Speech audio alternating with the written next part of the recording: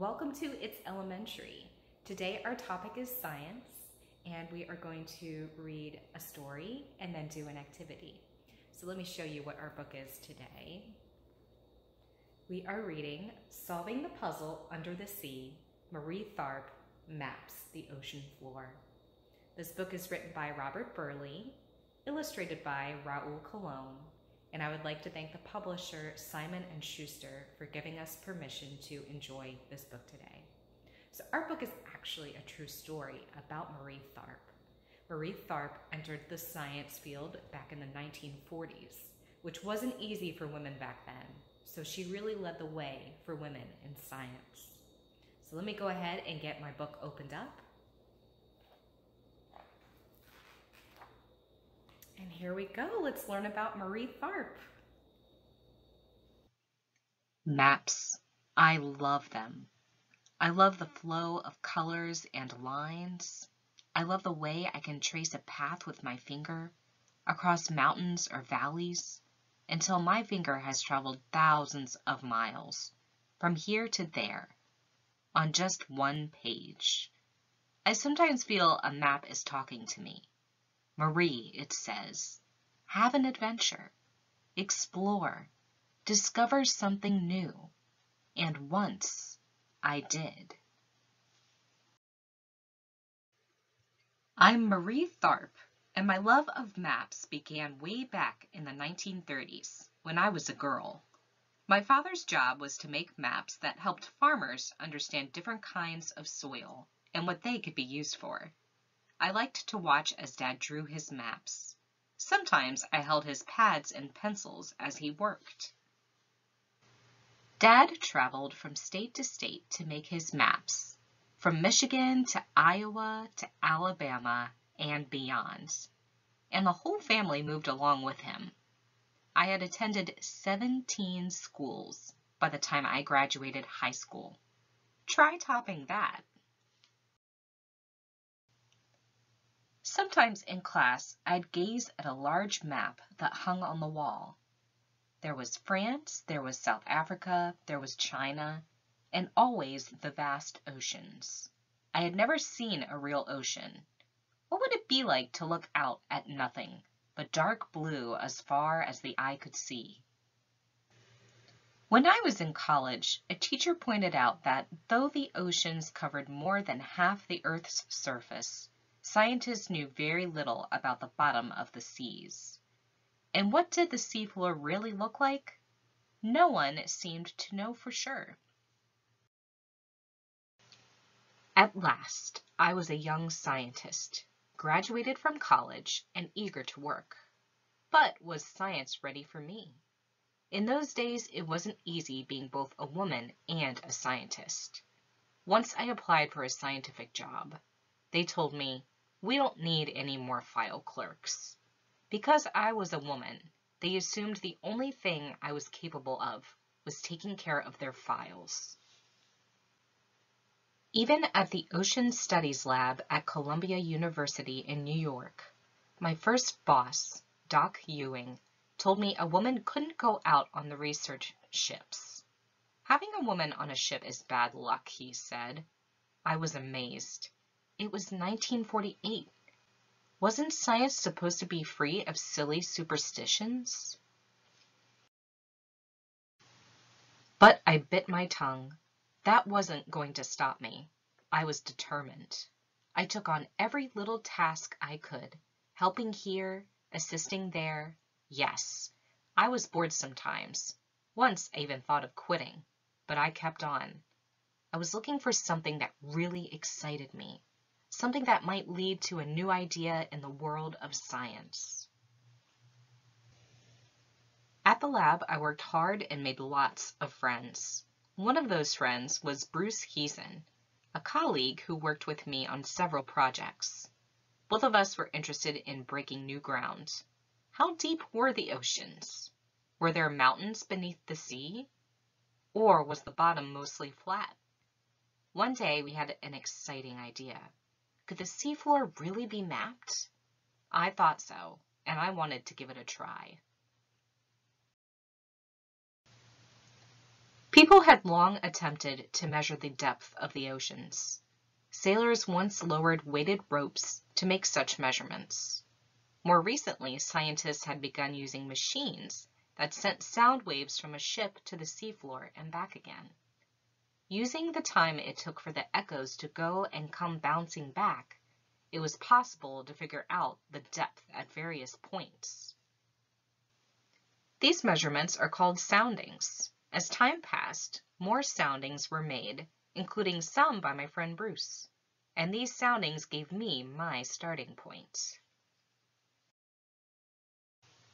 You have to think big, I told myself. I hauled a large table into my workroom and covered it with a huge sheet of paper. To me, it was a blank canvas filled with possibilities. I couldn't wait to get started. I began by drawing the coastlines, first of the Americas, then of Africa. Between these coasts lay my target, the wide Atlantic Ocean. Next, I slowly collected all the soundings available and placed their numbers carefully where they belonged on my map. Each sounding told the ocean's depth at one point. If the sounding number was, say, 16,000 feet, it meant the ocean was 16,000 feet deep right there. And if at a nearby point the depth was, say, only 8,000 feet deep, the sudden difference between the two numbers meant there was probably a mountain-like peak rising upward. And yes, there are mountains beneath the ocean, just as there are on land. It was like piecing together an immense jigsaw puzzle. I felt like a detective solving a great mystery. I was a scientist at last. Pinpointing the soundings helped me slowly understand the shape of the Atlantic's floor. From its shallow shores to its gradual drop-offs where the water deepened, to a long underwater mountain chain called the Mid-Atlantic Ridge that ran deep below the surface, north to south. I was a kind of artist too. I used colors to show similar depths shades of brown, blue, and green. Did all this take time? Yes. Even so, making a scientific discovery is worth it.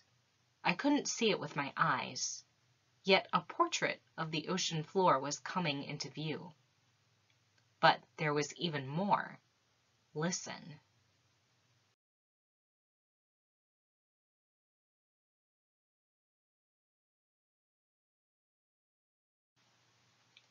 I noticed something else, something new and important.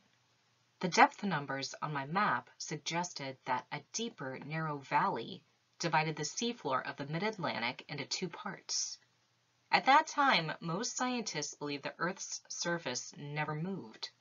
The Earth, of course, moved around the sun, yet the Earth's surface, so these scientists assumed, was fixed, unmoving. Other scientists, though, thought differently. They had an idea, or hypothesis, that the Earth's entire surface was divided into several gigantic parts, or plates. They thought these plates were being forced apart by deep sea earthquakes and volcanoes that occurred along the plate edges. And because the continents rested on these plates and moved as they moved, the new theory was called plate tectonics, or continental drift. Was the new theory true? I believed it was. My map showing the deep crack or rift running between the mountain peaks of the Mid-Atlantic Ridge was telling me so. As I continued working, others wandered in and out of my room, arguing about continental drift. Was it true? Yes, no, yes, no. Scientists are like that. They question everything. Nothing is for sure until it's really for sure. Even my friend Bruce refused to believe the new theory at first. But I ran my finger down the map, following the narrow path of the north-south rift at the center of the Atlantic Ocean's mountain chain. I smiled to myself, remembering that a picture is worth a thousand words. Bruce at last nodded and agreed. It felt good. I knew we were changing the way people looked at the earth. We asked a landscape painter from Austria to help us with our map's final printed version. I still remember the first time I saw it, with its rich colors, many markings, plains, and peaks. I felt like an explorer gazing at a newly discovered part of the world. Other people agreed, I guess, because when the map was published, it appeared in museums, in schools, and even on the walls of many homes. Was I proud of myself? You bet. I had a fascinating job that led me to map a once unknown part of the earth and to discover things as I went along. That's about as big as it gets. And yes, my map helped prove that the Earth's surface is moving too. But don't worry, you won't lose your balance. We're only moving about an inch or two each year the end. So as you can see in our book, Marie Tharp really led the way in mapping the seafloors, and her work helped to prove the theory of continental drift. It's pretty weird to think that the ground beneath us is slowly moving. But let's take a look at this last page again, because this has to do with our activity. So you can see Marie Tharp's map up here. That's the one they're all looking at. And that is what our activity is. We are going to make our own map, like Marie Tharp's. So in yellow, you can see the land, and you have the different continents. So some of them we see are North America. I see Africa, we've got Russia up here. South America would be down here, Australia. So those are some of the continents. And then we have the water in blue, there are there's our um, oceans. So let me show you the materials you are going to need to make your map. So the first one we need is a tin tray, or you could use like a cookie sheet or a baking pan. Most importantly, you're going to need some Play-Doh or clay. So I have yellow, that's what I'm using for my land or my continents. And then I have blue for the, for um, the oceans, for my water.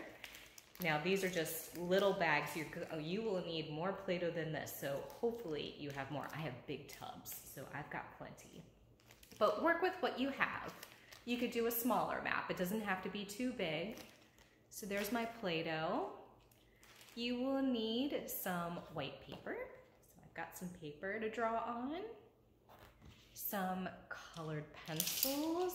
I've got lots of colored pencils or crayons or markers, whatever you prefer. And you will also need some scissors. I have a big pair of scissors. Maybe you have a small pair. If you need help cutting, make sure you ask a grown-up, okay? You should always be very careful with your scissors. So those are all the materials that you need. Go ahead and pause the video. And when you've got everything, come on back and we will start our activity. Okay, so the first thing that you want to do is make your continents. So the way that I made mine was by making a ball with my Play-Doh. So I use yellow for my continents and then you flatten your ball out so you can make your continent into any shape that you want. Once you have your continents made, then you can add them into your tray. And it doesn't have to look just like mine. You can do it however you want. This is your map, so you design it the way you want it to look. Now we're going to add our water. So I used blue for my water. So you are going to fill in the rest of your tray with that blue Play-Doh around your continents. And here we go. Here is my map. Yours should look a little something like this too. Something else that you can add to your map are some animals.